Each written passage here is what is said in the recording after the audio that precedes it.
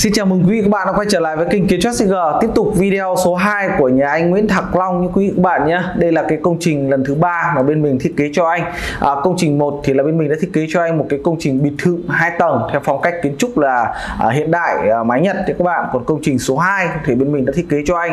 Đó chính là một cái công trình nhà, nhà phố nhỏ thôi à, Là bằng 4,6 nhân với 10,6 như các bạn nhé. Và công trình lần số 3 lần này thì lại cũng là một cái công trình nhà phố à, Và nhiệm vụ đặt ra ở đây là làm sao để cho hai cái công trình à, về cái hình thức là phải khớp nhau à, là cái điều đầu tiên. Cái thứ hai là phải đưa ra được cái, cái giải pháp về không gian của cái công trình lần này ấy, nó rất là thụt thò và cực kỳ là khó để chúng ta à, có thể là ra được một cái công năng hợp lý. Vậy thì bên mình đã đưa ra những giải pháp như thế nào cho cái công trình lần này? Thì cường xin mời các bạn hãy cùng cường xem. À, chúng ta nốt lại một số cái thông tin. À, gia đình nhà anh Nguyễn Thạc Long thì có địa chỉ tại à, Đồng Quang Quốc Oai Hà Nội nhé các bạn nhé khu vực quốc oai có rất nhiều công trình của bên HCG và uh, kích thước cái mặt tiền công trình lần này là bằng 5,3 nhân với lại 4 uh, 10,6 nhé các bạn. Và uh, diện tích sử dụng tầng 1 là được 44 mét vuông. Tầng 2 thì bên mình có le ra và đạt được cái kích thước là được 50 mét vuông sử dụng như các bạn. Thì tầng 1 thì chúng ta gồm có khách ăn bếp và một phòng ngủ. Tầng 2 chúng ta cũng có hai ngủ và một phòng uh, một phòng thờ nhé các bạn nhé. Đó chính là cái uh, công năng của công trình. Còn bây giờ chúng ta sẽ cùng nhau đến với phần hình thức của ngôi nhà lần này và xem cái giải pháp không gian bên mình đưa ra như thế nào cho cái thế đất là à, bị méo, thụt thò rất là nhiều nhé các bạn nhé. Cường xin mời các bạn.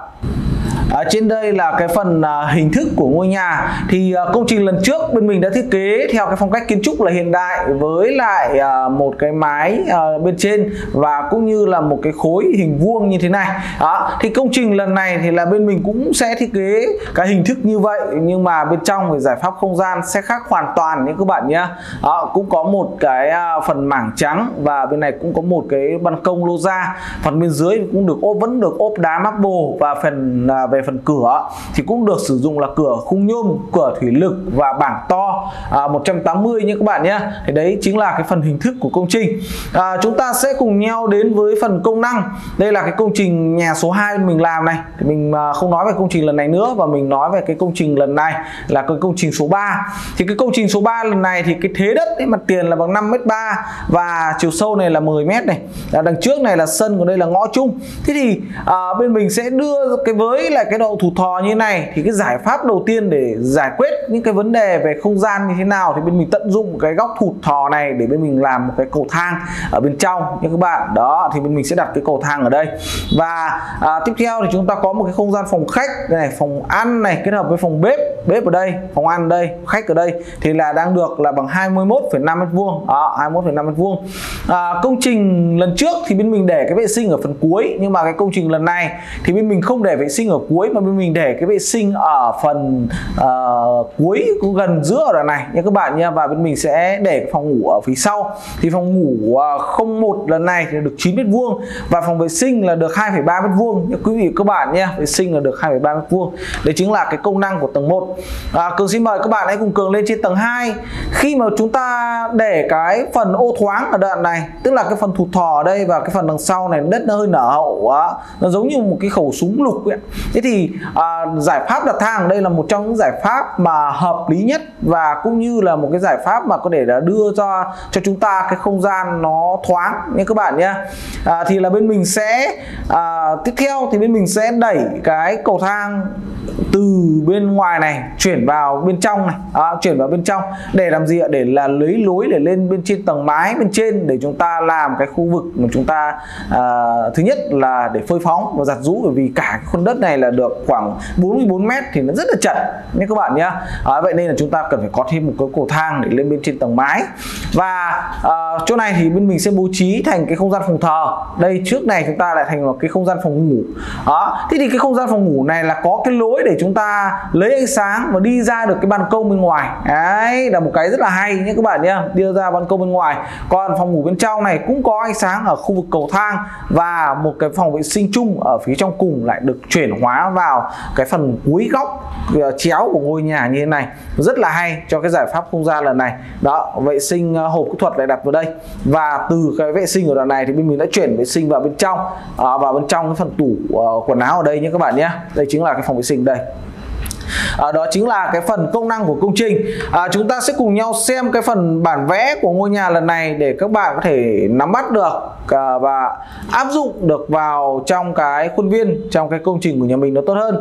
À, đối với là các cái công trình nhà phố bên mình thiết kế và thi công rất là nhiều ở tại cả trung tâm thành phố Hà Nội cũng như là các thành phố ở các tỉnh. Đó và với những cái ngôi nhà nhỏ như thế này thì là chúng ta cần phải đưa ra được cái giải pháp làm sao cho nó hợp lý. Đấy thì là à, bên mình đây bên mình sẽ tính toán là đặt cái cầu thang vào góc này và chúng ta đi lên. Và chỗ này chúng ta là làm thành cái vách ngăn vách ngăn à, tivi à, thế nên là cái không gian này nó sẽ là một cái không gian mở không gian rất là thoáng cho gia đình là được 21 mét. Và đây là được cái vệ sinh một cái vệ sinh là lòng lòng là được uh, một mét mốt đó, và bằng sau này chúng ta có một cái phòng ngủ không một mình gọi là phòng ngủ không một được 9 mét nhé các bạn nhé. Đó. thế còn là đây là cái hộp kỹ thuật mình như lúc cường đã có chia sẻ với các bạn là nhìn từ trên xuống đây chính là cái phần Ờ, bảng hộp kỹ thuật. Và ờ, chúng ta sẽ cùng nhau lên trên tầng 2 ờ, lên trên tầng 2 thì là cái phòng vệ sinh này là phòng vệ sinh chung. Và đây lại là một cái khoảng không gian thông tầng nhé các bạn nhé. Khoảng không gian thông tầng. Tức là chúng ta không đổ ở phần này để là lấy cái khí đối lưu từ bên dưới lên bên trên nhé các bạn. Đó và chúng ta mở cửa sổ ở đây để cho cái phòng ngủ 04 nó thoáng. Và à, chúng ta có một không gian phòng thờ ở gần giữa cái trung cung này. Và đây là một phòng ngủ có cái ban công ở bên ngoài có cửa sổ đó. đây là những cái giải pháp rất hay cho một cái không gian một cái công trình à, nhà phố có mặt tiền là bằng 5,3 thực ra thì mặt tiền đằng trước là 5,3 là do nó có cái cầu thang này thôi còn là đằng sau này nó chỉ được khoảng 3 mét 6 này các bạn nhé. Đấy chính là à, cái công năng của công trình. Còn các bạn đã biết rồi à, đối với là hồ sơ bản vẽ của bên HCG là hồ sơ bản vẽ chi tiết nên là bên mình sẽ vẽ rõ tất cả các cái phần từng phần của công trình này ra à, cực kỳ là chuẩn và rất là rõ để cho các bạn có thể là thi công và thực thi được cái công trình. Tất cả các kích thước lỗ ban ở đây thì đều chuẩn hóa phong thủy cho các bạn. À, về phần kết cấu thì à, đây là cái bản vẽ kết cấu lần trước mình có chia sẻ cho các bạn rồi. Đây là công trình lần này bên mình đang thiết kế là móng băng. Nhưng các bạn nhé móng băng. Toàn bộ là làm móng băng hết. Và được bên mình còn hướng dẫn cái 3D phần móng ra để cho gia chủ có thể dễ hình dung. Đây là cái phần móng băng này đây là phần tường bóng đây là phần rằng chống thấm. Đấy và chúng ta cũng có sắt thép được cũng mô phỏng hóa rất chi tiết ra như thế này cho các bạn để chúng ta làm được một cái công trình nó chuẩn và nó chất lượng như các bạn nhé. Phần sắt cột thì chỗ nào mà chúng ta cần phải uh, uh, thắt cổ chai bẻ cổ chai thì cũng có hay là kỹ thuật xây tường cũng được bên mình ghi chú rất rõ ra đây. Uh, sắt các cái đầu dầm sắt nối như thế nào thì đều được bên mình ghi chú rất chi tiết ra để cho gia chủ uh, làm được một cái công trình nó tốt nó chất lượng nha các bạn nhé. Đó thì hiện nay thì là uh, các bạn muốn tham khảo các cái mẫu nhà đẹp thì các bạn có thể là vào trực tiếp cái kênh youtube kiến trúc CG ở trên này này thì thì hiện nay là có rất là nhiều các cái video uh, cực kỳ hay nói về các cái kỹ thuật về thi công sắt thép đó, và uh, các cái phần liên quan đến uh, uh, không gian nhà đẹp. Tất cả những cái này mà các bạn nên xem để làm sao để khi mà chúng ta làm cái công trình của chúng ta nó không bị sai sót nhé các bạn nhé.